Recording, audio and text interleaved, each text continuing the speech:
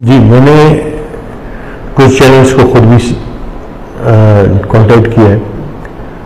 मैं ये भी कहूँगा कि मैं प्रेस मीडिया को इलेक्ट्रॉनिक मीडिया को सबको ये रिक्वेस्ट करूँगा कि आप सिर्फ़ एक तरफा बात सुन के और किसी को सजा नहीं दे सकते। आपका काम है, आप दोनों फरीकों की बातें सुने और दोनों फरीकों को इक्वली ट्रीट करें।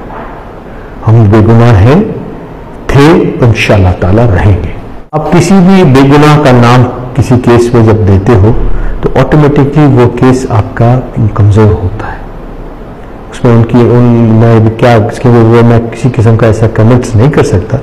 लेकिन उन्होंने जो भी किसी बेगुनाह को उस केस में इन्वॉल्व किया होगा तो वो उसकी आखिर गुनाह, बेगुनाही की भी सबूत दुनिया में रहते हैं। अगर उसको गुनाहगार करने के लिए चाचा मामू इस में जितने भी शायद और गवाह हैं, वो सिर्फ़ इनके रिश्तेदार हैं जो इनके घर के अंदर ही हैं। और कोई बाहर से, कोई शायद, कोई गवाह, उस कहते हैं कि सड़क पे ये इंसिडेंट हुआ।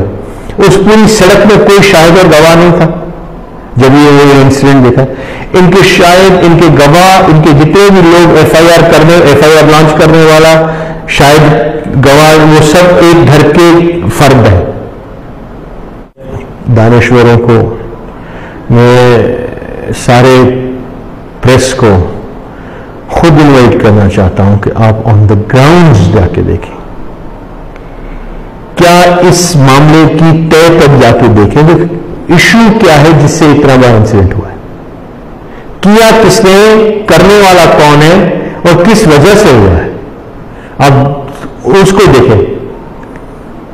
वो जो करने वाले जेल में बैठे हुए, उनसे भी पूछेंगे, भाई, आपने जो भी किया तो किसके कहने दे दिया एक सिंपल सी बात है, जो आदमी खुद करने वाला वो मौजूद है।